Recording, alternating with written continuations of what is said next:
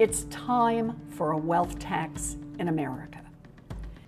The opinion that has become the rallying cry for the left, their war against the rich, and how they will ultimately save society and all of us who live in it. It's easy to understand why it's appealing. Let's blame people that aren't us for all of our problems and then say that we will then solve every other problem in society. If only we had the money. And here's a group of people you don't know, don't like, and will never meet who have all of the money. But will it work? Well, the very simple answer is no, but the reasons why are very complicated, so let's get into them. Best to first understand why people on the left want to do this. They call it a fair tax. They think the rich should pay the most, the poor should pay the least. It's odd that they would call this fair because it's people not paying the same amount, but sure. It's not hypocritical at all because it's their opinion. By the fact that I'm calling this left wing, it shouldn't be overly difficult to come to the conclusion this is based on the idea of wealth redistribution. I would say that we have two major ways of taxing wealth currently in capital gains and then inheritance tax, but they're both lower than income taxes, especially in the UK. Not in the US though. But explaining both of those to people that don't want to listen is pointless.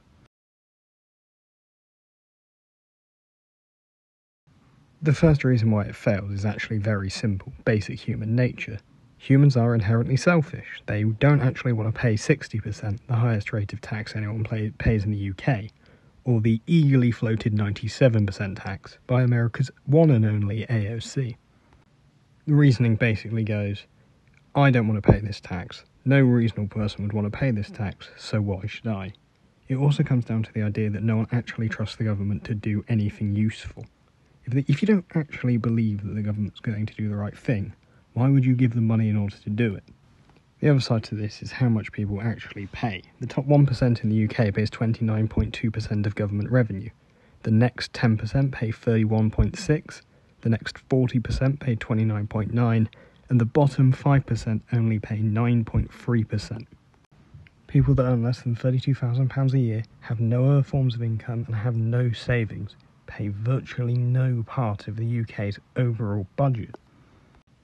That didn't sound important, but what would you do if you were in the top 1%, top 9%, top 10%, top 50%, and the government all of a sudden doubled, tripled how much tax that you were meant to pay?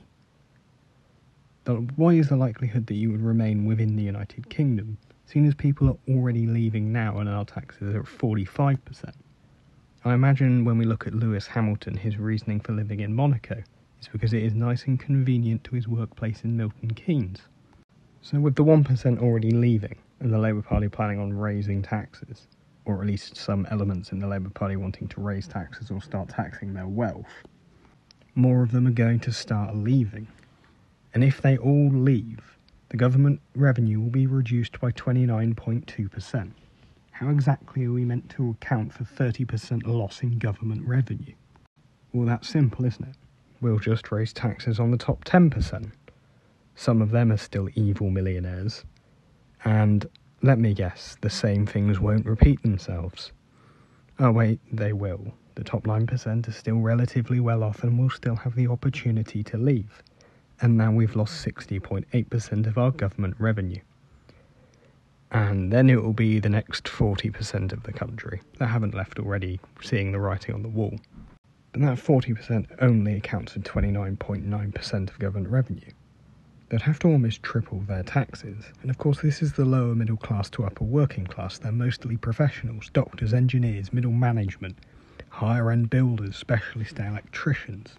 Like most of those people might be assholes, but what the fuck are we meant to do when there's no NHS, no education, no infrastructure, no one to build anything, and no one to sell it to?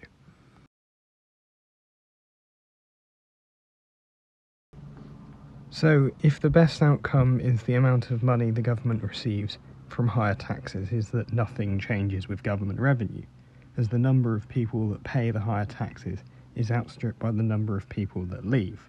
That being the best outcome, the worst is that the number of people that continue to pay the taxes falls to zero. It seems that this is a policy non starter. So, why does everyone keep sort of bringing it up? That's also really easy to find out. It's because this is easy. As I said earlier, nobody really likes the 1%, the top 9%. Hell, lots of people don't like people who are in the top 50%. When the justification for the policy is inequity, surely everyone that earns more than 50% should have to pay for the people that earn less. Equality is £32,000 a year and no savings. The average Brit does not have a house. Is that the uncomfortable truth at the heart of this policy? That equality in this country is the demanded outcome from tax.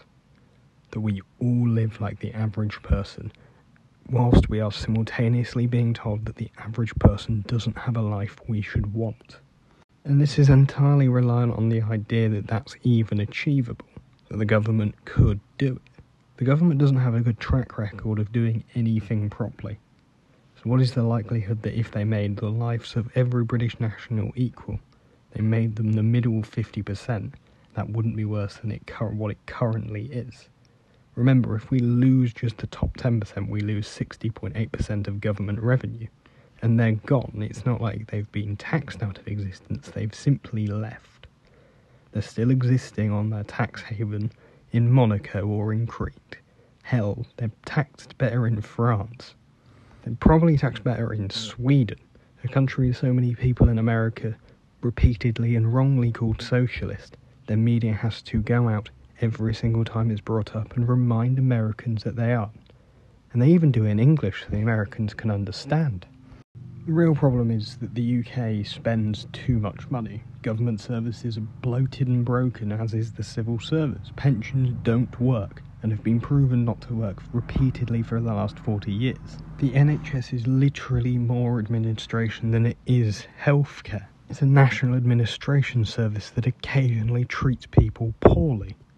And then we have the welfare state, which so routinely leaves, people poorer than when they started and traps them in that poverty. Where I agree with this premise is the idea that our economy is broken. Where I disagree is with the people that broke it.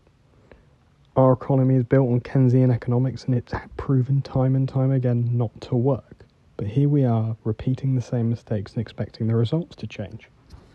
But this has been a Politic Chalkboard video. If you've enjoyed, consider giving it a like, maybe even subscribe. Do come back for more.